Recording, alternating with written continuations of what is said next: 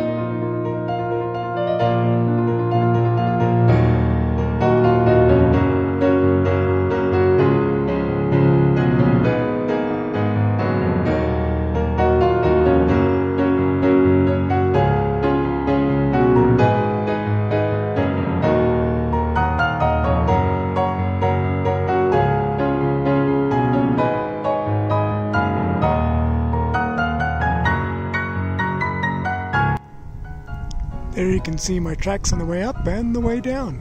Glissading was a lot of fun.